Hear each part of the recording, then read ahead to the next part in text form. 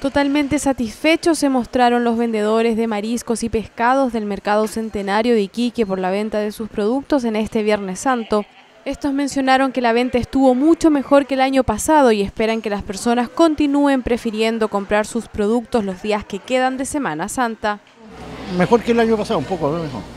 En el sentido de pescado sí, pero marisco estuvo un poco lento. Lo único que subió fue la reineta, pero todas las otras cosas, los mariscos se han mantenido bien. Choro 500 pesos, la almeja 1000 pesos, el precio del año.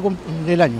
Eh, estuvo bien movido, gracias a Dios, tuvo harta gente acá, eh, se mantuvo bien ocupado y atendiendo a la gente que venía en el público.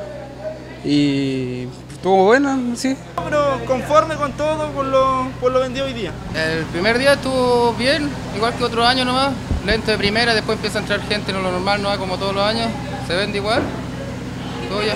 El chorito, la almeja y eh, la reineta, el congre también.